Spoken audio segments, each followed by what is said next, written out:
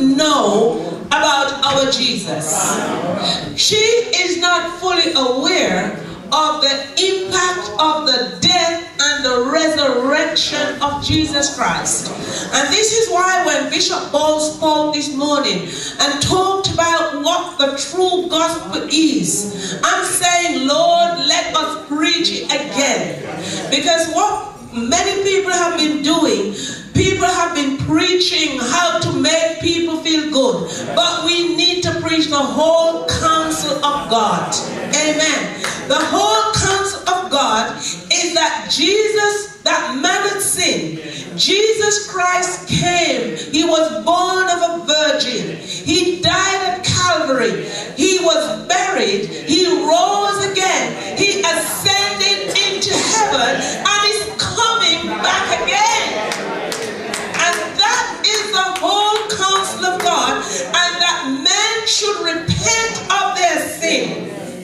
Jesus Christ died to forgive us of our sin. And so I take us back tonight to the text that was read this morning, Luke chapter 24.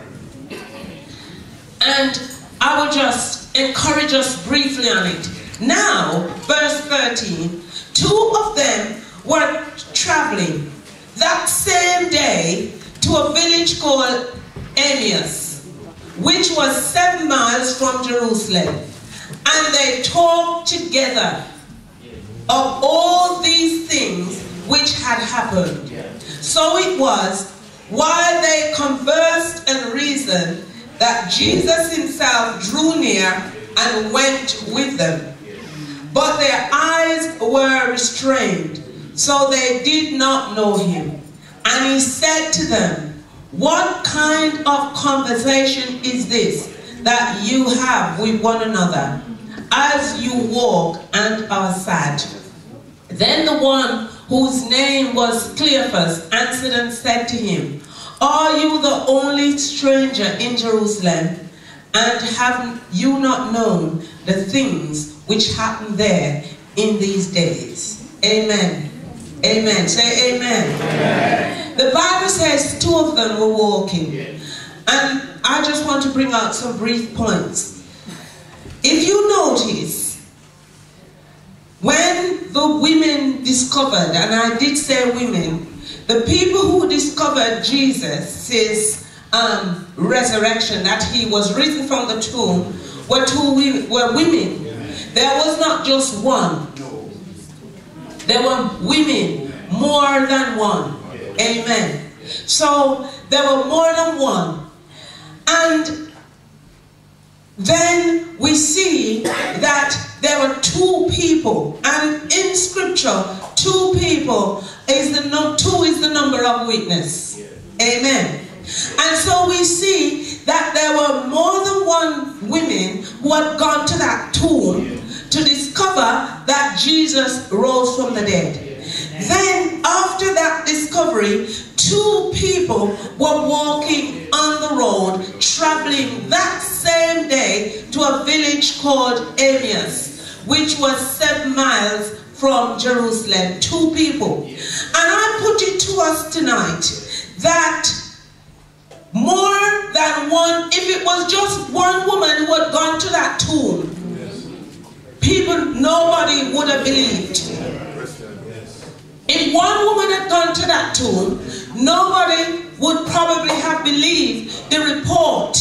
But because in their tradition, two people had to witness something to make it real, God allowed more than one to go to that tomb. Then as these men, then you see two men traveling the same day to the, to the village and Jesus appeared to the two of them. So we have more than one witness to the event that Jesus Christ came back from the dead. And as they were traveling, these I think they were they were can you imagine that they had believed on Jesus. They believed and they believed his saying, but I think they missed the fact that he had already told them that he was going to die because to them they were looking for this Messiah. And this Messiah should not have been crucified like he had been crucified. Amen. He should not have been. But then he was crucified. And so their hope was gone. Amen. It was like their hope had gone. Can you imagine they were waiting for so long for a Messiah to come. And then when he came, he died this horrible death. And their hope was gone. It's like you have someone on whom you depend. You depend on that person for everything. Because they were looking for someone to free them from Roman tyranny. And he came, but then he died this on the cross. And so they were going home sad. They were going home depressed. And this is why the church, you know, we should have hope. Because when they realized that it was Jesus, the Bible says, and they talked together all these things which had happened. They were talking about, they probably were reflecting on the fact that he was their last hope they were reflecting on the fact that he had fed the multitude. Remember, they had seen the miracles. They had seen him heal the, the blind man. They had seen him multiply fish and bread. They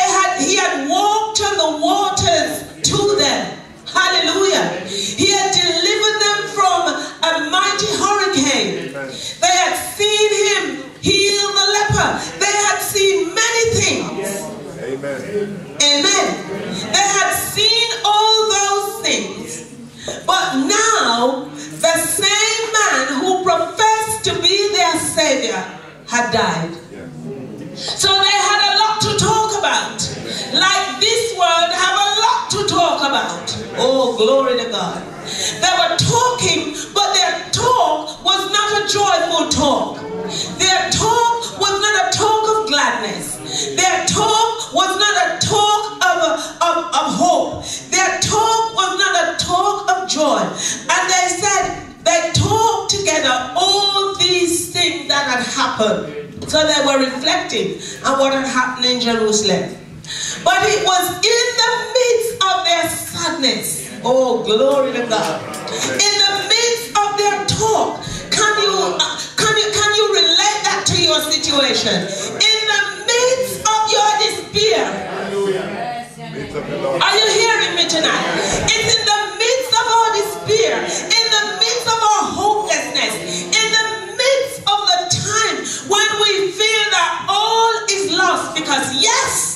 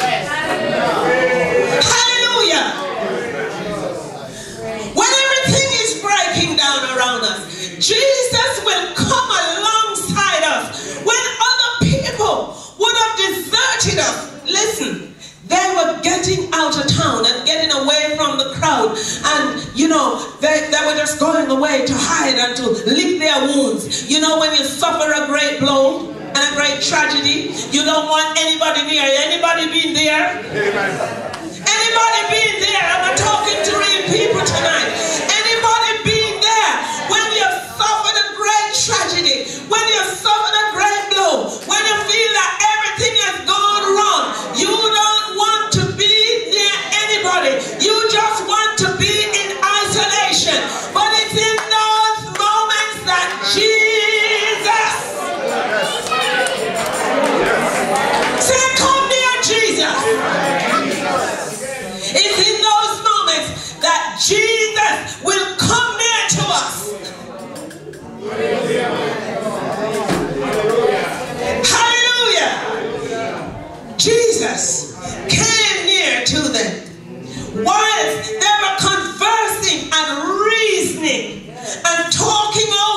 tragedy. While they were rehearsing the sad story, while they were rehearsing about their loss, Jesus stepped by out of nowhere. Oh, hallelujah. Jesus just stepped by. While everything is going on, while you're having a financial crisis, Jesus. Once your relationship is breaking down and you feel isolated, Jesus.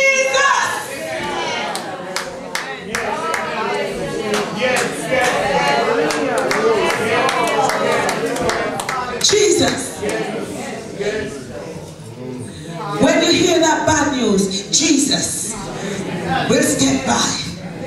And Jesus came near to them whilst they were conversing. There is no conversation that you're having with yourself at this time Jesus doesn't know about. No conversation. Lord, I can't cope. Lord, I can't take any more of this. Lord, I don't know what is going to happen. My life is falling apart. But Jesus is not far away. Help is on the way. Lord, I'm having a crisis. But help. Oh, I feel that in this place tonight. Jesus will step by. Jesus will draw near to, to us in those times when we're having those kind of conversation. And that conversation was a very negative conversation. But yet Jesus drew near. And guess what? The Bible says their eyes were darkened at that time. In the midst of a crisis, you can't see. You can't see. You can't see your way. You can't see the wood from the trees. In the midst of a difficulty, they could not see. Oh, hallelujah. There are times where we're going through certain situations that you just cannot see. Have you ever been stuck? Am I talking to you tonight? Have you ever been stuck? And you can't see your way? We're stuck and we can't see our way. They just could not see. Because they were too focused on what had happened at Jerusalem.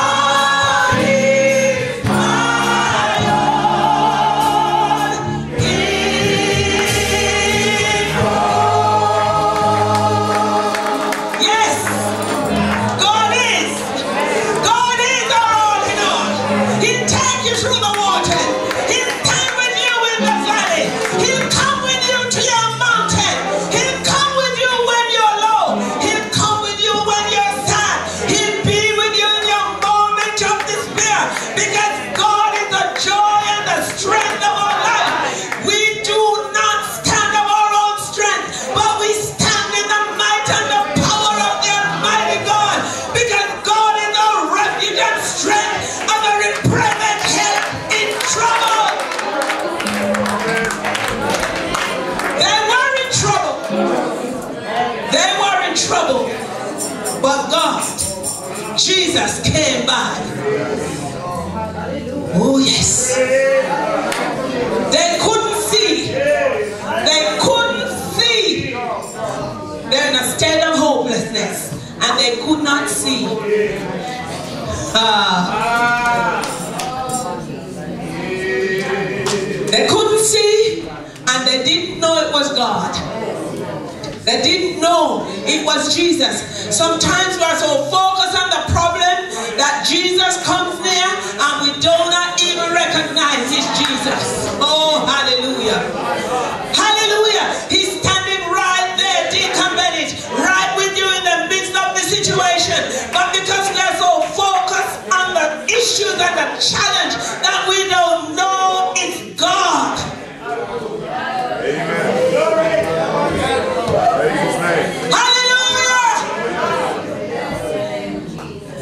We don't know it's him. And he came and they did not know him because they were so focused on what had gone wrong. But if we could only take our eyes off the problem and keep our eyes on the risen Lord. Hallelujah. Too many times we get sidetracked and we get our focus shift to other things. And he said to them, what kind of conversation is this you're having? because he had heard the conversation. And the conversation, sometimes when I hear some Christians talk, I'm thinking, why are you saying that? Why are you talking like that? And that was the kind, because the conversation they were having was such a sad story. No hope. Jesus says, what kind of conversation is this that you have with one another as you walk and are sad? A sad pair walking along this road. And sometimes the conversation we have with ourselves, very sad. And we tell ourselves all kind of things. I'm not going to get over this. I'm not going to get through this. I'm not going to survive this. I'm not going to come through this. And we spend nights, and notice I'm saying we. I'm using the collective noun, we. And we spend nights just losing sleep. Amen. And sometimes popping pills. And we get so stressed out. How am I going to get through this? How am I going to cope? But look back where God has brought you. Look where God has brought you from. We have been through many trials. And, and, and when you think of where God has brought you from to today, and if He brought you from that mighty long way to here, He will. Sister D, He will. If He brought you through the many trials, He will bring you through this one. Look back at your life. See the crises that you've had. See the terrible things that have happened to you. And if you have arrived at this point in time, there is no mountain too high and no valley too deep that God won't bring you through. Amen. He'll give you strength. Amen gives you, he will give you strength to go over. It doesn't matter how bad it is. We need to stop having those sad conversations with ourselves. Look at the situation and say, God, it don't look good. But I'm trusting you with this one. And I may be foolish tonight to be telling you this. You may think I'm foolish, but it's because I've been there. I've been there. And I have to look at the difficult situation and say, Lord, I can't handle this one. I'm giving it to you. And how many years down the line, look where I am. God took me through.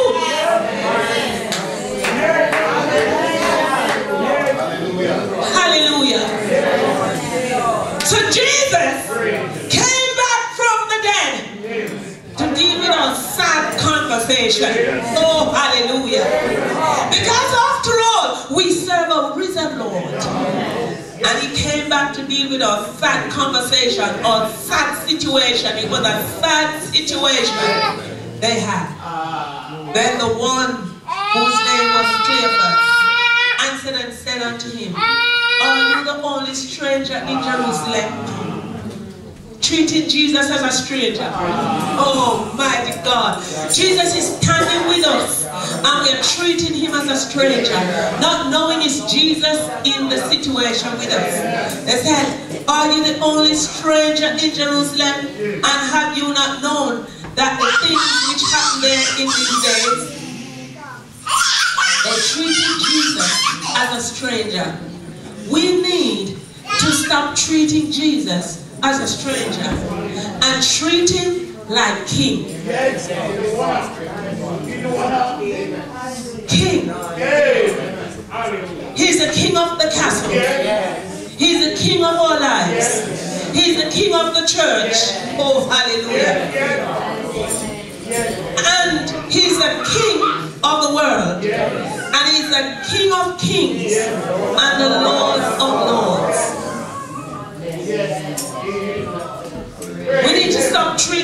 a stranger. Get acquainted with him. And it was when they realized who it was that they said, did not our heart burn within us? When, he, when they realized who it was who had come alongside them in their moment of despair. Listen, Jesus doesn't desert anybody when you're in your moment of despair. He'll come alongside you. There are times when you hit certain rock bottom in your life, everybody wash their hands and desert you, but not Jesus. No. No. He steps up right with you in the situation. There, you make. I tell you when you know the that how people really are. If you fall into sin or you have certain catastrophe happening in your life that is going to reflect badly on you and on the church, people start washing their hands. Don't want to know. Don't want to be acquainted with you. But not Jesus. Jesus went out to find the sheep that was lost. He stepped alongside you to bring you back into the fold. That's the God we serve. Jesus rose from the dead to bring hope. And tonight, this is why I serve him. Believe me, this is why I serve him. I'm not in this thing for the politics. I don't believe in politics in church. I'm not talking about being involved in political affairs. I'm talking about when people start playing politics in church. I'm not into it. And play power games. I'm not into politics and power games. I'm into play, I'm into serving Jesus. Amen. Because I wouldn't have given so many years of my life to something if I didn't believe in it. I believe in this. I believe in the power of the, the resurrection. I believe in the power of the cross. I believe in the power of the church, the authority of the church. And irrespective of what people may say, I believe in the authority of the church because it's because of the church. Why? some destructions have been held back from this, this earth. I believe in the authority of the church. And so I don't treat this lightly. And this is why I don't politic in church. No, no, no play around. Because I believe in the in what God has called us to do. Let us stand. Jesus.